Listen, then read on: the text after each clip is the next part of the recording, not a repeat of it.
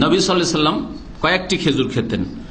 যদি খেজুর না পেতেন, তাজা খেজুর ফা তামারা তাহলে শুকনো খেজুর। ফাইনলাম তখন তামারাত, আর যদি শুকনো খেজুরও না পেতেন, হাসা হাসাওয়াত মিম্মা, কয়েক ঢোক পানি খেয়ে নিতেন, কয়েক ঢোক। পানির ক্ষেত্রেও আজকাল সায়েন্স বলছে যে পানি খাওয়ার ক্ষেত্রে অনেকে কয়েক চার পাঁচ গিলাস খেয়ে নেয় একসাথে। সারাদিন পিপাসা আছে গরমের দিনে, অনেক বেশি করে পানি খেয়ে না, এটাও ক্ষতিকর। এক, দুই এইরকম গ্লাস খান, বেশি খায়েন না। বা ছোট গ্লাসে দু তিন গিলাস বেজোর করতে চান। অল্প পানি খান, খুব বেশি পানি খেয়েন না। তারপরে কিছুক্ষণ সময় দেন আবার, দশ পনেরো মিনিট সময় দেন। তারপর আবার খান বা আধা ঘণ্টা সময় দেন। নামাজটা পয়সা আবার একটু পানি খান। সেটাও ধীরে ধীরে কিন্তু, এই মুসনাদ আহমদের হাদিস, আবু দাউদ তিরমিজিত রয়েছে। হাদিস সনদ হাসান। নবী করিম এইভাবে খেজুর বা আগে রোতাব, তারপরে খেজুর, শুকনো খেজুর আর তারপরে পানি দিয়ে ইফতার করেছেন এবং করতে বলেছেন।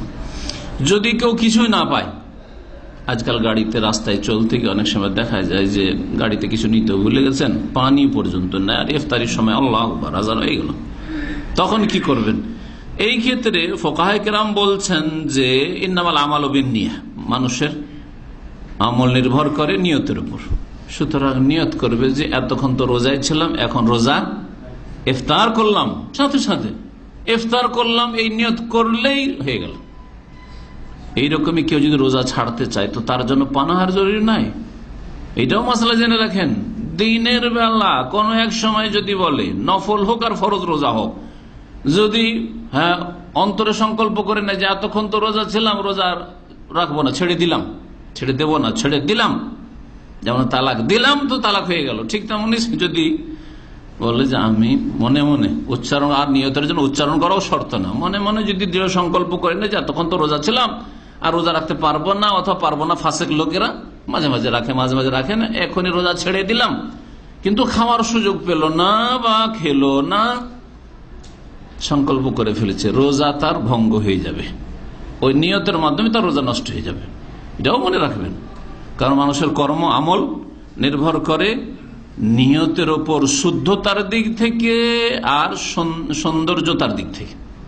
শুদ্ধ হওয়ার ক্ষেত্রে, অশুদ্ধ হওয়ার ক্ষেত্রে আর সুন্দর হওয়ার ক্ষেত্রে। যার যেমন ভালো নিয়ত হবে, তত সুন্দর আমল হবে। শুধু এই ক্ষেত্রে না যার নিয়ত হবে যে এই কাজটি করব, এই আমলটি করব, সেটা শুদ্ধ হবে। আর যদি নিয়ত খারাপ থাকে, দুনিয়ার কোনো গরজ থাকে, তাহলে সে আমলটি শুদ্ধ হবে না। সে আমলটি শুদ্ধ হবে না। অনেক জাহেল মূর্খরা করে কি? আঙ্গুল চুষে। কিছু নেই, তখন আঙ্গুল চুষে। শেখিম হোসাইম রহমতুল্লাহ তার কিতাবে লিখেছেন যে ওয়ালাই ইসবাহ যে আঙ্গুল চুষবে, যে আঙ্গুল চুষে এখন ইফতার করি, কিছু পাই না তো। এটা মূর্খদের, জাহেলদের কাজ, এরকম কাজ করবেন না। ওয়ালাইয়াবুল্লাহ কহু আর কেউ কেউ করে কি একটু এমনি তো থুথু বেরোয় না, কারণ ভিতর তো সুখী আছে। তারপর চিপে চিপে ভিতরে থুথু একটু বের করে আর জিবাতে থুথু জন্মিয়ে তারপর তখন কি করে? গিলে, যে থুথু গিলে আমি ইফতার করলাম। এটাও জাহেল মুরুক্ষদের কাজ, এরকম কোন কাজ করবে না। আরেকটি আদম মনে রাখবেন যে বিশেষ করে ইফতারির পূর্ব মুহূর্তে দোয়া কবুল হয়।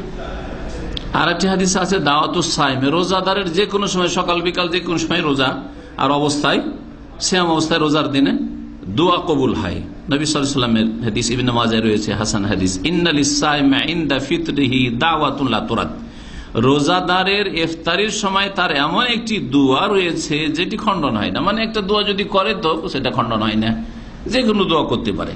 সুতরাং আল্লাহর অস্তে দোয়া করবেন এখলাসের সাথে, নিজের জন্য, নিজের পরিবার, পরিজনের জন্য, নিজের দিন, দুনিয়ার কল্যাণের জন্য, মুসলিম উম্মাতের জন্য, মুসলিম মজলুম ভাই বোনদের জন্য। এই রোজা রমজানের দিনে ভুলবেন না।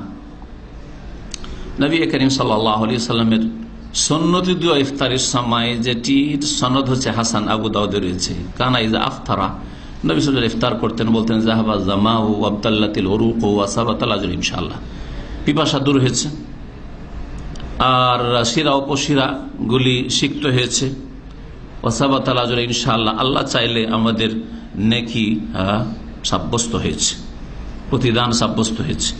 আর একটি দোয়া যে প্রসিদ্ধ দোয়া আল্লাহ লাকাসম তো আলা রিজকে কাফতার তো লাকাসম তো একটা বাক্য আলা রিজকে, দুই বাক্যের সাথে।